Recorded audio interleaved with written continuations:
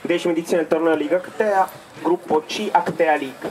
Abbiamo l'uomo team di Rubo Negro, che purtroppo ha perso compagnia di via Sanzio per un 4-1, sbattiato. Il tuo gol non è bastato, gol del pareggio, su grande assist di Giusto Lisi.